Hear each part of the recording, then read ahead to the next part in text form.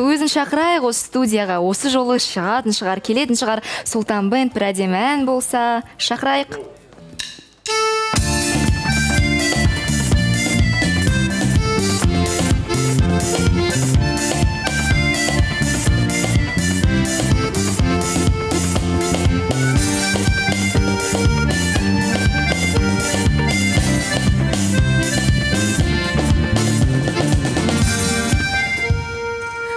Ханым иә ұлбосын сіздің биіңіз ерте аяқталып қалған сияқты. Қош келдіңіз. Қайда жоғалып кеттіңіз? Иә жаңа сіз хабарлаған кезде далаға шығып кеткен болатын. Түсінікті. Қал жағдайыңыз көңіл күйіңіз қалай? Хал жағдайым өте керемет. Көңіл күйім жақсы. Мхм. Барлығы күшті. Тамаша. Ал енді карантинде бос уақытты қалай өткізіп жатырсыз? Көрдік. Үй жинайсыз тамақ істейсіз киім ауыстырасыз көйлек ауыстырасыз. Иә карантинде үйдеміз. Ә, тамақ істеймін кешке обедте де тамақ істеймін. Ә, үй жинаймын посуда жуамын. Карантинде істемеген нәрсенің бәрін істеп жатырмын. Бітпейтін үй шаруасы дейсіз Иә, ғой иә қысқасы. ал сіз алматыда кіммен тұрасыз? Мен алматыда ағам жеңгемнің үйінде тұрамын. Балалары бар ма? Жоқ. Балалары жоқ. Түсінікті. Ал өз балаларыңызды қатты сағынған шығарсыз иә? Әрине карантин басталғалы мен шымкентке шыққан жоқпын. Карантин басталғалы уже бір айдан асты иә.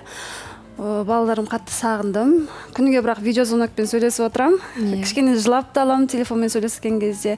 Әке шешемді де қатты сағындым бауырларымды да қатты сағындым. Бір үйде қамалып отырық карантин кезінде. Ешқайда шықпай Иә. дейсіз ғой. Түсінікті. Ал енді ұлбосын ә, сіз жобаға келгелі қанша уақыт болды? Жобаға келгелі бір, бір айдан бір жарым айдан. бір бір жарым айдай Иә. уақыт болып қалды және осы уақыт аралығында көп үміткерлер келді деп айта алмаймын. Иә тіпті бір, саусақпен санарлықтай болды иә? Бір үміткер келді тек. иә сол кісі ғана. үміткер келді. Сізді көріп қалды студияға келген кезде одан кейін ұнаттым кө- келдім деп айтқан еді бірақ Иә. сізге ол ұнамады одан кейін таныстық тіпті жалғаспады. Иә таныстық жалғаспады сол күні тоқтаған болатын. Енді түрлі себептермен тоқтатылды. Оның бәрін э, сол неде айттым эфирде айттым барлығын түсіндірдім. Э, сол. Енді үміткер менде әлі жоқ үміткер күтем осы жобада. Иә шынымен де бір жарым айдың ішінде бір ғана үміткер келді. Бірақ ұлбосын оның себебі неде деп ойлайсыз? Бәлкім сіз мен тоқал болуға дайынмын деген сіздің сол хабарландыруыңыздан кейін барлығы қорқып қалды ма екен? Қалай ойлайсыз? Иә содан мүмкін қорқып та қалған шығар. Көп көрермендер инстаграм парақшасына маған жазып жатыр. Ә, жаман жағында да жазып жатыр жақсы жағында жазып жатыр. Бірақ енді мен ол жерде тоқалдық дегенді айттым ғой. Ә, өзімді ойымды айттым. Енді жан жақтан сондай негатив сөздер келіп жатқаннан кейін мен де ойымды өзгерттім диана ханым. А ойыңызды өзгерттіңіз? Иә, тоқалдыққа қарсымын. Ә, енді ә, қазір көбіне жерлерден көріп жатырмын. Азаматтық неке дегенді. Азаматтық неке деген ә, соны ойланып жүрмін. Енді диана ханым азаматтық неке дегенге ә, Қарсы емессіз. қарсы емеспін. Иә қазір көп жастар ә, сразу тұрмыс құрып үйленіп кетіп жатыр ғой негізі. Сосын кейін көп ұзамай ажырасып та кетіп жатыр. Ал мен азаматтық некеге тұрып жаңағыдай көріп сырын қырын бәрін біліп ә, если ол жігіт мені қалай сыйлайды. Сосын кейін барып тұрмыс құруға болады деген ойда болдым. Ұлбосын сіз ажырасқаннан кейін осы нәрсені айтып отырсыз ба? Әлде сіз қазірдің өзінде егер тұрмысқа шықпаған болсаңыз да мен азаматтық некеге қарсы емеспін деп айтар ма едіңіз? Иә мен азаматтық некеге қарсы емеспін. Негізі ажырасқаннан кейін де солай айтып жатырмын. Қазір жас қыздарға да айтарым сол. Негізі ә, мың рет өлшеп бір рет кес дейді ғой қазақта. Сол секілді жас қыздарға айтатыным ажыраспайтындай тұрмыс құрыңыздаршы. Ә, және өздерің ә, ер, ә, ер азаматы негізі қыз баласынан сәл үлкендеу бір Жоғары, бір иә, саты жоғары. бір саты жоғары тұру керек. Сондықтан бірақ бір жасы да жас мәселесі де үлкендеу болу керек сияқты. Яғни жігіт қыздан үлкен болу Иә. керек иә ал жаңа дарина мен ә, есімхан екеуі жасты ғой. Сондықтан екеуі ә, сөз келісе алмайды бір бірімен тете болады ғой. Екеуі ұрысып қала береді. Сол секілді ә, өзінен жігіттерге айтатын өзінен кішігірім кіші қыздарға сөз салыңдар. сөз салыңдар. Ал ұлбосын қараңыз енді егер жас қыздар азаматтық некеде тұратын болса мен қорқам кәдімгідей. Өйткені азаматтық некеде тұрдық делік. Бірақ одан кейін олар қатынастан ешнәрсе шықпаса онда ол қыздың кәдімгідей дағы болып қалмай ма? Өйткені ол мүлдем тұрмыс құрмаған қыз бірақ енді ел аузында ол азаматтық некеде осы бір азаматпен тұрды деген сөз тарайды. Жоқ, ойлаймын ата анасына да жақсы емес. әрине жақсы емес бірақ мен ә, барша қызға айтып жатқаным жоқ азаматтық некеде. Бірақ ә, мың рет ә, өлшеп бір рет кесіңдер сосын кейін барып тұрмыс құрыңдар деп жатырмын да ал мен ажырасқанмын. Оның бәрін қазір келе келе ойланып жүрмін мысалы. Ойлана келе мен азаматтық некеге қарсы емеспін? деген ойдамын қазір. Мен ажырасқаннан кейін сол ә, азаматтық некені қолдаймын. Мхм ал жас қыздарға оны айтып жатқаным жоқ. Бірақ жігіттерге ә, көп сене бермеңдер. Бір көргеннен емес бірнеше ә, кездесіп сөйлесіп ә, бір бірлеріңді танып білгенше тұрмыс құрмағандарың дұрыс деп ойлаймын. Түсінікті. Және ұлбосын ә, тоқал болудан бас тартып жатырмын дейсіз. Не нәрсе әсер етті сіздің көзқарасыңыздың өзгеруіне? Біреудің сөзі біреудің пікірі. Әлде ә, туғандарыңыз айтты ма жақындарыңыз айтты ма? Иә өзімнің осы эфирде де өзімнің туған ә, әпкем хабарласқан болатын. Иә есімде. Иә сол кезде де айтқан мен ол кезде енді өзім білем ғой деп ол кезде дөрекі сөйледім. Ол ә, сестрамнан кешірім сұраймын маржаннан. Ә, енді ойлана енді көп ойландым ғой оған дейін қанша уақыт өтті. Одан кейін ыыы тұжырымдамам солай болды. Тоқалдықтан бас тарттым. Енді жан жақтан келіп жатыр туысқандарым да айтып жатыр әке шешем де айтып жатыр. Олай болмайды ғой қызым деген сияқты. Енді әке шешемізден асып түсе алмаймыз. Енді әке шешем не айтады сол болады. Ә, енді әке шешем солай қарсы болды мен де қарсымын. Өйткені тоқалдық дегенге маған негативтер көп келді. Сондықтан мен негізі негативке көп беріліп қоятын қызбын да. Сол себептен деп ойлаймын диана ханым демек комментарийлерді жиі оқисыз Иә, жиі жақын қабылдайсыз өзіңізге. қабылдап қаламын иә. Бірақ ойыңызды өзгерткеніңізге мен қатты қуанып отырмын. Өйткені қыз болғаннан кейін ару болғаннан кейін жалғыз болған жақсы ғой қанша дегенмен сіз ер азаматты сүйесіз және оны ешкіммен бөліскіңіз келмейді. Тек қана сізге сізбен бірге болғанын қалайсыз ғой? Тек қана сіздің балаларыңыздың әкесі болғанын қалайсыз? Иә әрине ешкімге жаңағыдай нанын жұлып алып жемеу сияқты ғой. Енді әке шешеме жақсы ә, сондай әке бола алатын маған жақсы жар бола алатын ер азамат кездессе деп үміттенемін тілеймін. Құдай қаласа осы карантин бітсе жақсы. Тұрмыс құруға да ә, Ниетім бар иә дейсіз ниетім бар осы карантин біткеннен кейін. Түсінікті тамаша енді. Шынымен де ер азаматтар көріп отырған болсаңыздар өте пысық нағыз келін болатын ару болсын негізі. Жоқты бар етіп жасайтын иә? Иә. сондықтан күтеміз сіздерді жүрегі бос өтініш тастаңыздар онлайн кездесулеріңізді ұйымдастырамыз. Және ұл болсын сіздің есіңізде мен осы жерде тоқалдық тақырыбы қозғалған кезде ең бірінші болып атылған рамазан еді сол кезде. Жоқ тоқал болу деген не сұмдық деп. Енді ойыңызды өзгертіп отырғанына рома да қуанып отырған сияқты өзінен сұрайық. Рамазан ал құтты болсын рамазан ойын өзгертті. Жоқ ә, оған қуандым ғой. Бірақ? Енді тағы бір тема басталды да азаматтық неке деген. Ә, ә, білмеймін азаматтық некені қолдамаймын мен. Жарайды ол болсын енді тоқалдыққа қарсы болыпсың бірақ азаматтық неке деген ә, ол білмеймін. Ол да дұрыс емес деп ойлаймын өйткені сен бір жігітпен тұрасың ә, онымен мысалы қалай айтсам ол кәдімгі өмір сүресің да әйел мен күйеу сияқты. Бірге тамақ ішесің бірге ұйықтайсың бірге әңгімелесесің. Болмай қалатын болса уже келесі жігіт деген сияқты білмеймін ол да дұрыс емес. Негізі азаматтық неке дегенге мен мүлдем өз басым қарсымын өйткені қанша жерден ажырассаң да тағдырласың табылуы мүмкін. Сені ә, қандай барсың сондай ретінде жігіт қабылдауы мүмкін деп ойлаймын. Енді рамазан бұл жерде сенің ойың бөлек менің ойым бөлек дегендей ғой. Енді сен ә, түсінбейтін шығарсың. Может менің өмірім басқа. Ә, мысалы мен ажырасқанмын. Ажырасқаннан кейін қайттан сол нәрсеге барғым келмейді да қайттан мен мысалы күйеуге тиген кезде мен онымен ә, араласып болмаса танысып көрмегем да. И бір көргеннен алып қашып кетті мысалы. Ал мен сондай жағдайға қайттан Оралғым оралғым келмейді иә. Сондықтан ә, жақсы танып біліп енді кішкене жас қыз емеспіз ғой. Ә, таныса салып мен ә, бір үйде тұрайын деп жатқан жоқпын. Ә, кішкене танысып білісіп жақсы енді өзімнің жарым ретінде көрген соң ғана ә, тұрмысқа иә, тұрмысқа. рахмет рамазан. Студияға хабарласқан көрерменіміз бар екен. Одан кейін осы әңгімені жалғастырамыз. Алло сәлеметсіз бе қосылайыққа қосылдыңыз. Тыңдап тұрмыз. Саламатсыздар ба маржана ханым. Сәлеметсіз бе?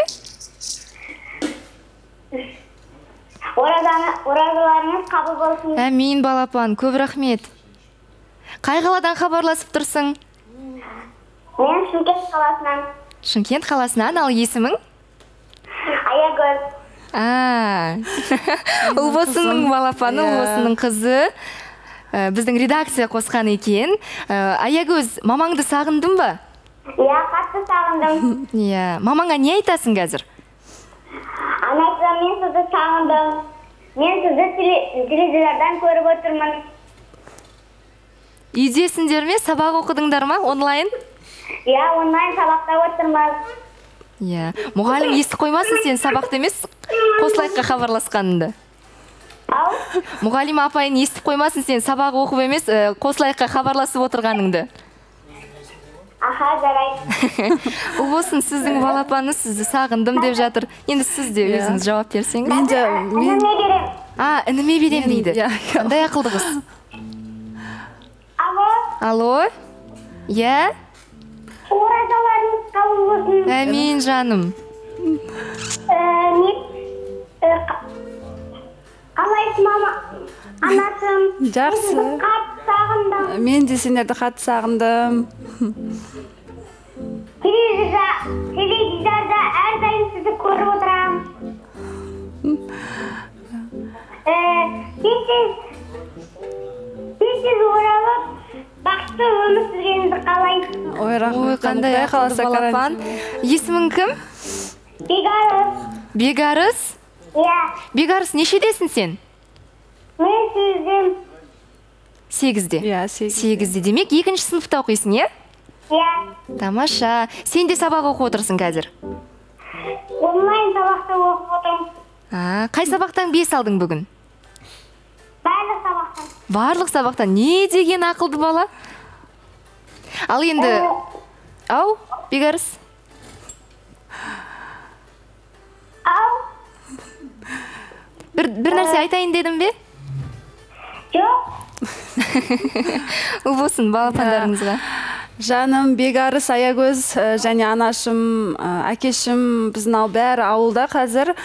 Ә, сестрам бала шағасы бәрі карантинде біз ауылда жатыр. Қазір ауылда огородпен айналысып жатыр. Барлықтарыңызға жалынды сәлем. Мен сіздерді өте қатты жақсы көремін. Сағындым. Құдай қаласа карантин он біріне бітеді деп жатыр ғой. Он біріне ұшамын деп. Бірінші рейспен. Иә. Аягөз бегарыс балапандар көп рахмет хабарласқандарына. Енді аналарың айтып жатыр ғой карантин аяқталғаннан кейін міндетті түрде шымкентке жол тартып өздеріңді құшағына алатын иә, болады. әрине. Міндетті. Сабақтарыңды жақсы оқыңдар. Рахмет хабарласқандарына. Ал болсын сіздің көңіліңізді көтерейін дегені ғой редакцияның. Иә рахмет редакцияға. Осы өзімнің қызым мен ұлымды қосқанына рахмет. Дем қатты сағындым сондықтан күніге сөйлесемін. Бірақ сонда да мына жерде сөйлесіп мына жерде дауыстарын естігеннен кейін өте мүлдем басқаша болады екенсің. Қобалжымаңыз барлығы дұрыс. Ал енді ұлбосын ә, сіз болашақта егер жақсы бір ер азаматты кездестірсеңіз және отбасын құрайын деген болсаңыз балаларыңызды өзіңізбен бірге аласыз ба? Әлде әке шешеңіздің қолында қала ма? Иә мен оны осы жобаға келген кезде бір қатысушы айтқан еді иә сол сұрақты қойған еді. Мен ол кезде айтқан едім ә, әке шешемнің қолында қазір келіні болмаса баласы жоқ әке шешем екеуі ғана тұрады да и менің бала шағам тұрады енді ә, оны уақыт көрсетеді диана ханым негізі бала шағамды өзіммен бірге алып ә, тұрсам деген ниеттемін. Енді қазір кесіп айта алмаймын ешнәрсе уақыт көрсетеді. Енді ол кезде мен әке шешеме тастап кетемін деп айтқан тұғынмын негізі. Бірақ мен мына жерде қазір жүріп көріп жатырмын да бала шағасыз қалай ә, Қиын. қиын иә. Күніге азандап тұрсам да ойлайтыным осы екеуі. Ұйықтар кезде де дұға тілегім осы екеуі үшін дұға тіле- тілеймін.